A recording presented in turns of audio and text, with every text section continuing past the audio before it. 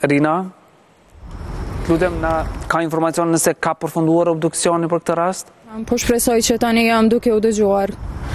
Ne jemi tani në qendrën klinike universitare të Kosovës, këtu tek Instituti i Mjekësisë Ligjore, ku vetëm rreth 20 minuta më parë janë sjellë edhe 5 viktimat e ditës së sotme të sulmit në Gjilan nga vrasja katërfishtë, por edhe vetëvrasja në fund që u bë.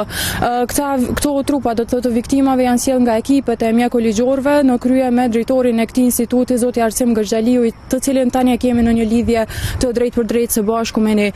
Zoti Gërxhaliu, a mundesh me na tregu pak më gjerësisht se çfarë ka ndodhur sot, do të thotë si e keni marrë lajmin edhe si ka qenë aksioni juaj, themi kështu në Gjilan? Po, në orën 13.05 minuta kemi pasur thirrjen zyrtare nga policia e Gjilanit dhe ekipi ynë në orën 14 ka qenë në vendin e ngjarjes. Deri në orën 19 është punu së bashku me ekipin e njësitit të policisë, ekipin forenzik dhe tani më pak më herët i sollëm në Institutin e Mjekësisë Ligjore.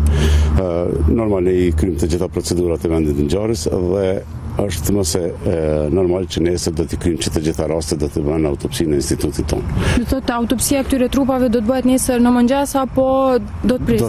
Do të fillon në mëngjes, sepse janë 5 raste, edhe nuk e dimë do të thotë edhe rastet tjera të cilat mblidhen anekënd Kosovës, por ne këto 5 raste do t'i kryejmë nesër, së bashku me kolegët tanë, sepse janë të mobilizuar që të gjithë.